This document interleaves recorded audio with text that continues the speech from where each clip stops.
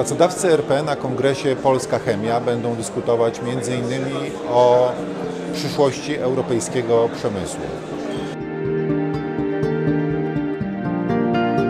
O tym, jak będzie się musiał zmienić ten przemysł, aby zużywać mniej energii i aby ta energia była bardziej zielona, ale też o tym, w jaki sposób nie wylać dziecka z kąpielą, aby unijne regulacje służyły ochronie klimatu, ale nie narażały w miarę możliwości konkurencyjności europejskich firm, w tym firm polskich.